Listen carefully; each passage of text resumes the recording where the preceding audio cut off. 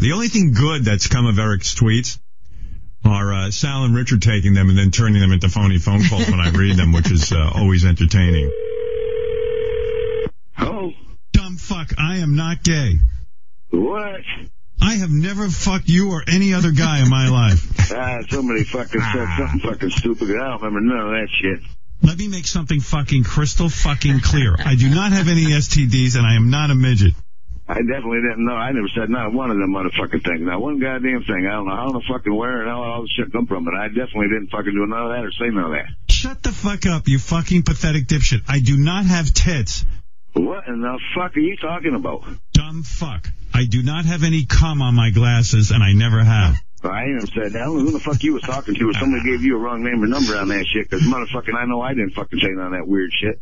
I don't even fucking talk that shit. I have never once ever crapped myself at an age game. Somebody pulling that fucking leg, dude, cause I don't know who the fuck ah. says dirty shit like that, man. Look, dumb fuck, I am neither a Jewish person nor am I a fucking stalker. Fucking Jewish stalker. What the fuck is that? A Jewish stalker? I ain't gonna hear that stupid shit.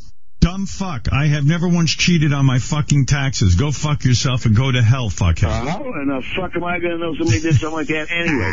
fucking what the fuck? Cheating on taxes. I have never taken a shit on any lawn at all.